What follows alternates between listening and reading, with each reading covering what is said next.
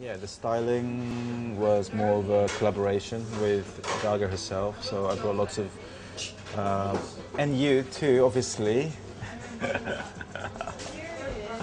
um, I, I, you know, it was lots, you know, mixture of uh, very um, mixture of high fashion designs like Bal- Balmain, Balenciaga, um, Givenchy, Louis Vuitton, and Gucci, and designs like that, mixed with um, younger brands like Gareth Pugh and Katie Eary. It was kind of everything, you know, from a very chic, lady-like meets S&M, and we just mix everything together.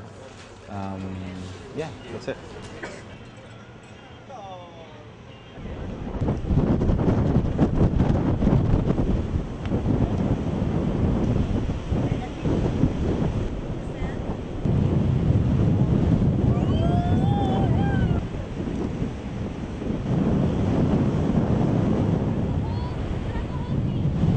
Sebastian's incredible.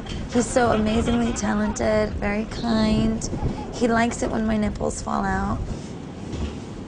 It's all of the things I look for in a good photographer. I was really excited to do this shoot today. V Magazine was definitely um, one of the most important magazines that I've ever, ever wanted to be a part of. Uh, I wanted to do a fashion story so bad. Fashion's my whole life, and uh, I couldn't wait to get here today to do this amazing story with Sebastian.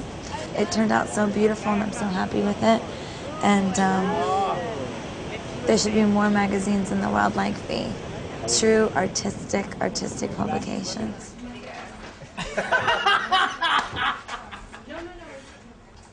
Fabulous. Cool.